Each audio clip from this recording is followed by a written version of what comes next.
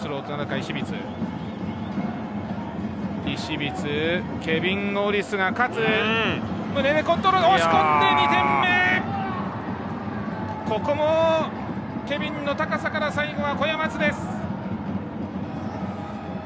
いやロングスローからですね。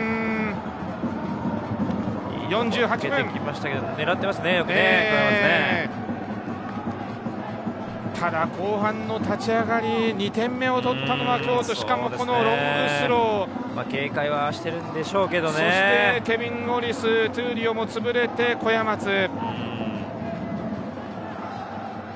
2人で熊本も行ってるんですが。そうですね、競り勝ってますからね、はい。はい、でもこれ京都の